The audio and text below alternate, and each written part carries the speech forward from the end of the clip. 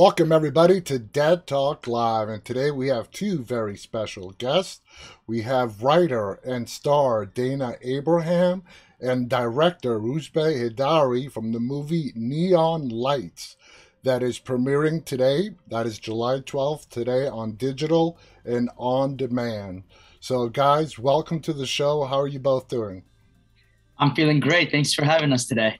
Yeah, thank uh, you so much for having us it, it's my pleasure. And like I told you just before we went live, uh, this movie is phenomenal. I loved it. Um, several of my team members had they saw it twice, you know, just to really get the grasp of it. And I think people are going to find themselves seeing this more than one time. So let's get right to it. Now, Dana, you wrote the script and you're the you're the leading star. You play Clay. Was it difficult for you to keep your priorities clear, having to wear so many different hats for this project? Oh well, I mean, how much time do you got for me to explain that? Go for it. no, you know what? It, it's it's extremely challenging. Um, then you couple in the factors of that we were filming during the height of the second wave of the pandemic. Uh, but you know, I have such a great team. Rouzbeh is so brilliant when it comes to man, uh, manning the um, creative aspects of this um, film, so that's what you get to see. Mm-hmm. And he's just my creative partner. And, and, from the inception of the script and how we were able to distill it and uh, make it uh, really efficient and and work within the requirements of you know making sure the risks were limited during the second wave. Um, we were able to execute pretty properly, and uh, I, I, was able to manage my expectation and priorities uh, seamlessly throughout as much as I could. Anyway, you know, as they say, it's never easy, so no. you just got to get through it. You know. Absolutely. Now, Rouzbeh, uh, first of all, how long have you and Dana known each other, and were you on board with this film when uh, the writing started? Or did you have to be convinced to be brought on board and direct this? Uh, well, I've known Dana just uh, since the beginning of this pandemic, but it okay. feels like I've known him for uh, a uh, hundred lifetimes, which is kind of special. Um, when we met, uh, we needed to make a film together. We were just, you know, so gung ho about working together, and and really wanted to push that. And Dana had had the makings of a script already called Neon Lights, and then I brought a bunch of ideas out of left field and he tried to make sense out of them, including his own creative genius, and and uh, the script was born. Now, Dana, uh, like we talked about, this is a very complicated film that has a lot of different layers. When you were writing the screenplay, what would you say was some of the biggest challenges that you you were faced with? Well, you know, that's a great question. Thanks for asking that. Um, first and foremost, I think the biggest uh, issue that we had was how do we make a movie during the pandemic? Mm-hmm. Because we had to be very mindful of uh, casting choices. We had to be very mindful of how to make a psychological thriller with such severe limitations. And so, my original script for Neon Lights, it was a really large show. It's something that we couldn't have accomplished during the pandemic period so uh, you know we had to just figure out solutions to every issue mm-hmm. so when it came down to cast we had to figure out ways to utilize the limited cast in a way in which we could tell a story that led to complications and but you know the, the one thing that Ruse and I really agreed upon was that we didn't want to make it a lukewarm or an easy to watch film. The theme of it is mental health, and the theme of it continuously happens to be financial familial failure, childhood trauma, all of those situations and and the thematic uh, you know issues were really relevant at the time. Oh yeah. And so to make a movie of that nature, in and of itself, is going to be complicated. And we know that any we we both agreed that if people didn't appreciate it, it's because they might have not gotten the idea of what's actually happening. It's a very cerebral thriller, mm-hmm. but at the same time, we wanted them to rewatch it, almost like a, a, Christopher Nolan Inception type of thing. You just have to kind of watch it, let it marinate, go back to it. Exactly. And uh, that's where we really wanted to live with this film. And I'm just so proud of my partner here, Ruse. He just he, he crushed the days, never went into overtime. We did it, you know, safely. Nobody got COVID on set, and you know, we're just really proud of this film and uh, that's that's all I really have to say on that. Now, Rouzbeh, uh, I gotta ask you, uh, when you saw the script, when you uh, the story, you guys both helped in with the story. Uh, did you find yourself asking, how am I going to present such a uh, a complicated story, a complicated script to the viewers, where it leaves them guessing, wanting to come back again for some more, but yet accurately and properly tell the story? Yeah, well, when you're telling a story that that central theme is uh, mental health and sort of the breaking down of mental health, uh, a you don't want to be exploitative about it. Yeah. Uh, so I did my, you know, I did my research. We reached out to therapists and practitioners at the University of Toronto, even and people I've worked with in my life, and you know, really tried to digest uh, the feel and, and the the essence of it as truthfully as, as possible. And you know, when when you're going through those motions um, that Clay is, the dots don't always connect, mm-hmm. and that's a big part of this movie. Um, you know what I mean? Is yeah. is what Clay is going through, the, and, and, how do you embody that now visually? Um, you know, and the neon lights uh, for us, for me especially, the color, the different colors that that were character traits uh, when you look at someone, when you when you use someone, it is essentially your projection of them is what you're seeing. It's you know what I mean. So yeah. uh, clay is essentially projecting, uh, and the different colors represent different characteristics and traits, memories, um, and whatnot. So absolutely, uh, a lot of prep went into it. You know, we spent a long time preparing just just to ha- how to attack it, and then and then you know, we shot it in 15 days, so we just really had to do the preps to be able to, you know, cohesively shoot it in that. Now, the movie has a very dark feel to it, with sort of like the bright lights behind it, but where the characters are placed, uh, it's it's a very dark uh, setting. Uh, Rouzbeh, it was that part of the plan? Did you and Dana work together to work up the lighting to have that effect. Uh, walk us through that. Um, well, you know, in, when you look at something visual, um, it's it's the contrast that makes it. You know, the contrast in the tones, the contrast in the colors, and the light temperatures. You know, that's what makes a, an image pop. Yeah. Uh, and so, you know, a lot of it I do have to, uh, you know, credit Dimitri Lopez, our amazing cinematographer who tirelessly, you know, we him and I would go to that location so often before we even started shooting, and he was just trying to wrap his head on how because I was like, these are the colors, these are the characters, this is what they have to embody. Mm-hmm. So he he really dedicated himself in trying to figure out how to light these rooms, um, so so that it would work and it doesn't look off or you know jarring but but that it, it, just kind of becomes part of the house. And it's as if the house is kind of bleeding all these traits and colors and feels right? Like it, you kind of wanted to give it give it that kind of a vibe like the house is just infused and that's de- the blood of the house it definitely worked dana would you say uh, the lighting that Rouzbeh was just talking about is sort of like a peek inside Clay's mind as well. For sure. Um, actually, that I, I would credit that heavily to Ruse because when I had originally written it, it's because I, I was going through the state of New York and I stumbled into this really small town that was really ominous. That's where I got the idea for neon lights. But the neon lights came from because I was walking through a carnival and they had all these neon lights going on. Wow. Um, because he's so cerebral, he's such an intellect, he wanted to use color association with the mental psyche and how certain colors are are dependent on mood, personality traits, and vision. So there's I'm gonna let him finish this part because when I had met him and we are talking about this project, he he had right away uh, leaned into Edgar Allan Poe, mm-hmm. and he had leaned into the Masque of the Red Death. Now I wasn't well versed in Edgar Allan Poe at that specific time, so I didn't really understand what he was getting at. And it wasn't until after we finished Neon Lights that I read the book and, and then understood it. But you know, he had also this idea of what each of the floors in, in the building were for the mind. And so really it just comes down to Ruse's execution and his belief on what made more sense. And, you know, that's why the film is so cerebral because Yes. you know the script was actually a little bit less complex, but that Ruse is just so great at making you think.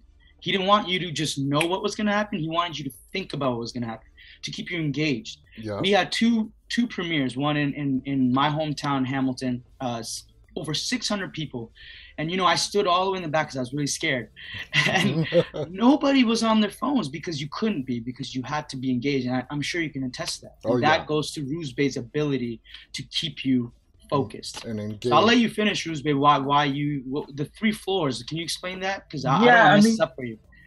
I mean, uh, you know, the three levels of your psyche, you know, uh, the superego, the ego, the id. hmm And, you know, we sort of, even down to the shooting style, the way that the, the images were captured, uh, technically were different on each of the floors.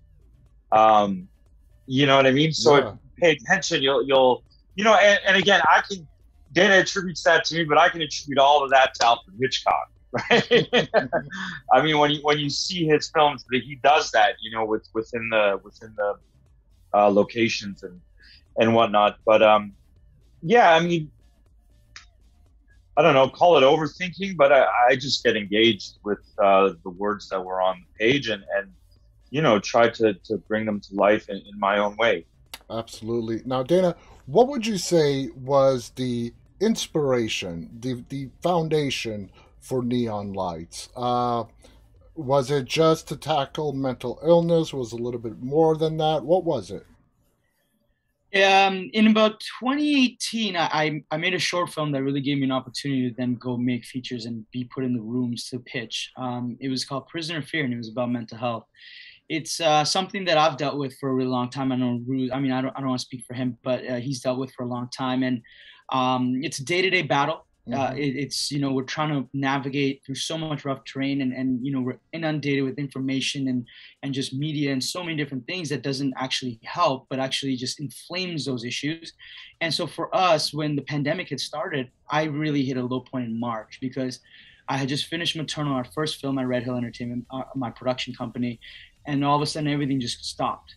And I was feeling the pressures of society just like everybody else. And, Yeah. and so Neon Lights, I really, really leaned into mental health as much as I could because, you know, at the end of the day, we wanted to tell a story and, and send a message. Mhm. Um, but then we masked it with a thriller in order to entertain our audience the best that we can. So that way, you know, you get the best bang for your buck.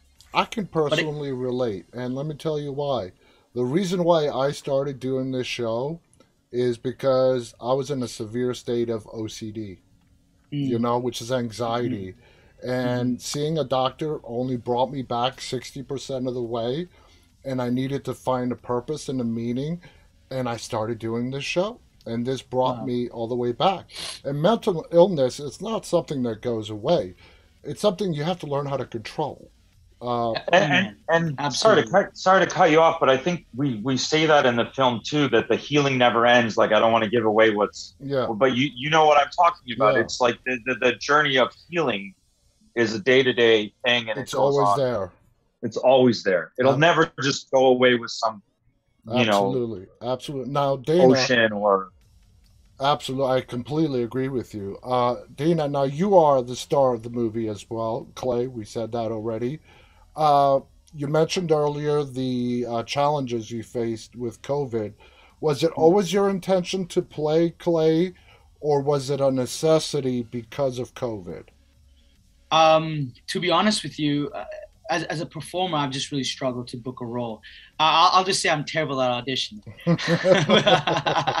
but you know, um, I, I I wrote the film with the intention of playing Clay, but I've written several other films with the intention of playing the lead role. And you know, it's such a difficult and volatile industry to get that opportunity. Mhm. Um, as we went into the financial rounds and trying to attach talent and, and move forward, there's been several times where I had self doubt.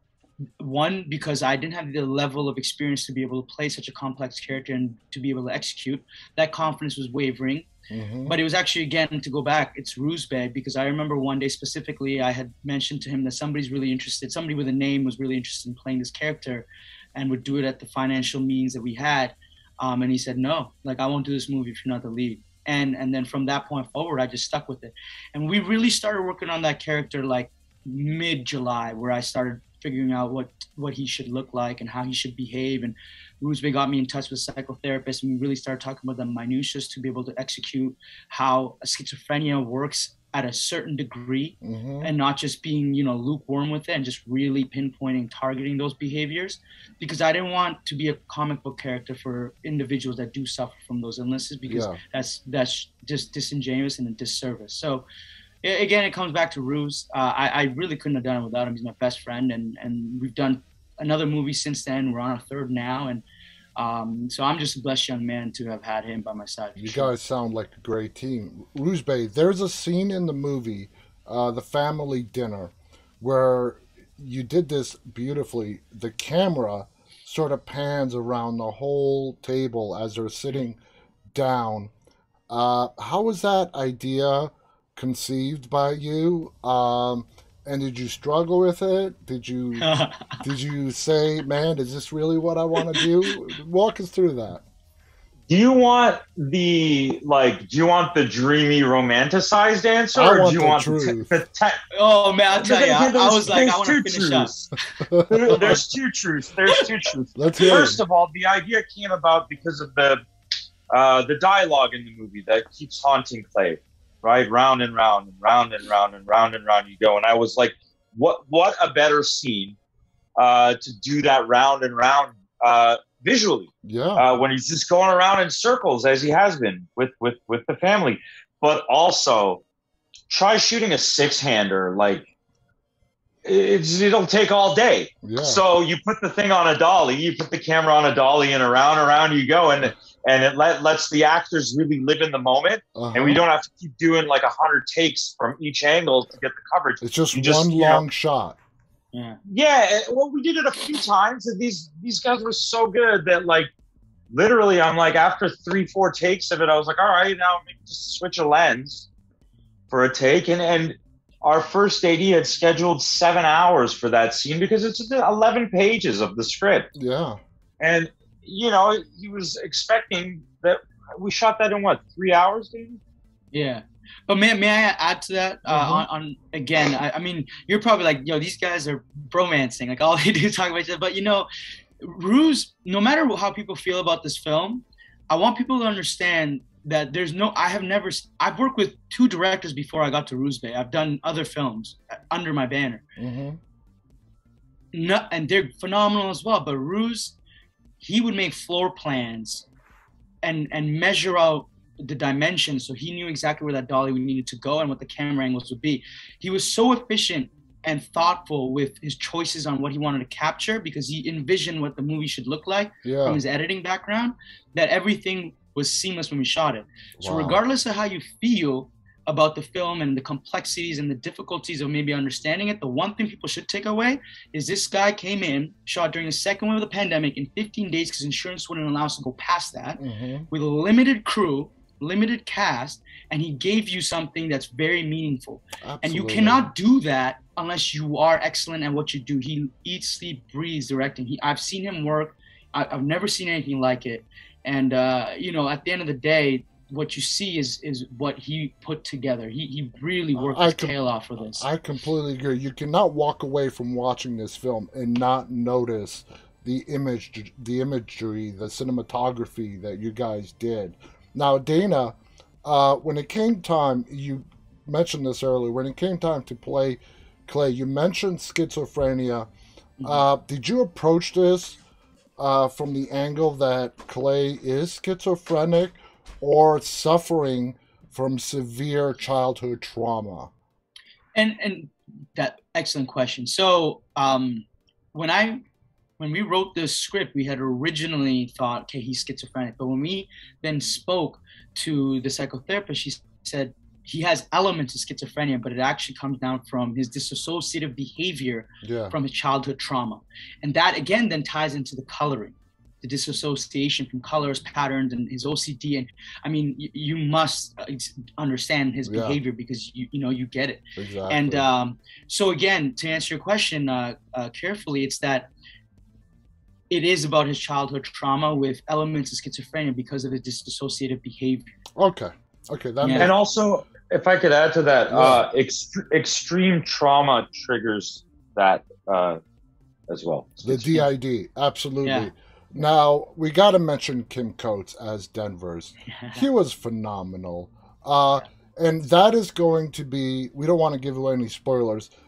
Uh, his character is going to be the biggest question mark when people leave uh, are done watching this film. I, like I said, I don't want to give away any spoilers, so I'm trying to watch my words very carefully. But what did he do? What is real? What is not real? What was just in Clay's head? What actually happened? Uh, you know, both any of you guys can answer this. Was that the intent? I'll, I'll, take that. I'll was, take that. Was that the intent of the script yeah. and the film? Well, the goal was to again keep you in your seats and questioning everything. Yeah. So when it came to Denver, the character that Kim played, whether he's real or in the mind, or it, we didn't want to really give you an answer because our goal was to figure out for yourself what is real and what's not. Mm-hmm. Because then it becomes an inward reflection of mirroring your own thoughts. Are your thoughts real? Are they projections or are they a real person that give you those issues that you have? Is, is it your father? Is it your significant other? Things we were facing in real time during the pandemic when we we're locked up in our home? Or is it our own thoughts that are giving us the negative, you know, energy, the negative thought mm-hmm. processes? So again, we again to not give away spoilers, um, we just wanted the audience to dictate what it is that Denver meant to them. Okay, that's and also per- perception is everything, right? Yeah. If, if if if you see it, it is. Yeah. Uh, absolutely. Now the film Rouzbeh, the film ends with an Edgar Allan uh, Poe quote. Now Dana said he didn't actually read uh, the book until afterwards, but so I'm assuming that quote was your idea. Is that correct or incorrect? I mean, we were we had a few we had a few going on there, but I mean, uh, I don't want to give away the quote either because it's a bit of a spoiler. But mm-hmm. that seemed to be just so appropriate, right? Yeah, that one. It, it, just seemed to sum it all up. So and I gotta uh, we tell you, there. like, oh, sorry. I, and I think I think that was actually Dana's idea, right? Because after we had finished post on the film is when he started reading Poe and we had another quote in there, and then he comes up to me, and the film is like, it's cut, it's edited, but we're just like finding, finishing it up, packaging it and whatnot. Mm-hmm. And he and he's like, "Hey, Ruse, what, what about this this quote instead of the one?" But, do you know there? why, Ruse? I, I said that because he bought himself a sweater and he gifted me a T-shirt, and it was Edgar Allan Poe at the front, and he had the quote on the back. But this was before we went to camera. Wow. Originally, I had Aristotle in there and then and um because you know it's it's it's it's it's a thriller but it's still very artistic oh and yeah, so absolutely and so I had come to him and I started reading Edgar Allan Poe and I was like, oh my goodness, like this makes so much more sense. And the shirt makes so much more like, this guy's weird. Why is he giving me the shirt? Like it's like really dark, you know? And uh and so the quote was on the back of the shirt. I'm like, Bruce, this is the one, man. We gotta put this at the end. Absolutely. Uh we're pretty much out of time. I want to ask, I want to both of you to answer. When people watch this film, we know it's about mental illness, but what is the one takeaway that you hope people get when they watch it? Let's start with uh, Rouzbeh. Honestly, just to uh, evoke question. That's it. As long as as long as someone watches it and they question something, my job is done. That, that that's absolutely correct. How about you, Dana? Life is a day to day battle. Just take it one day at a time. You'll be just fine. Absolutely. Guys, again, the movie is called Neon Light. It's available as of today on digital and video on demand on your platform of choice. Check it out. Uh, I suggest instead of renting, you buy it because you're going to probably want to see it at least two times to really get everything that you might have missed the first time around. This is an amazing film. Again, congratulations to the both of you. Uh, the way you described the COVID conditions, the restrictions, the limited cast and crew, you guys did an amazing job. So, again, congratulations. I think the film is going to be a big success. Do you have any final thoughts you want to share before we go? No, I'll be back on your show for the next couple of films. I'll see you soon. Absolutely. I, I love your shirt. Christine. That's right. That's right. Thank you guys so much. I want to Thank thank, you, our live Cheers. audience and those of you who will be watching this after we're done with the live. Thank you again to Dana Abraham and Rouzbeh Heydari. Uh, the movie again is called Neon Lights. Make sure to check it out. On behalf of Ruzbe and Dana, guys, stay safe and stay walking. Good night, everybody.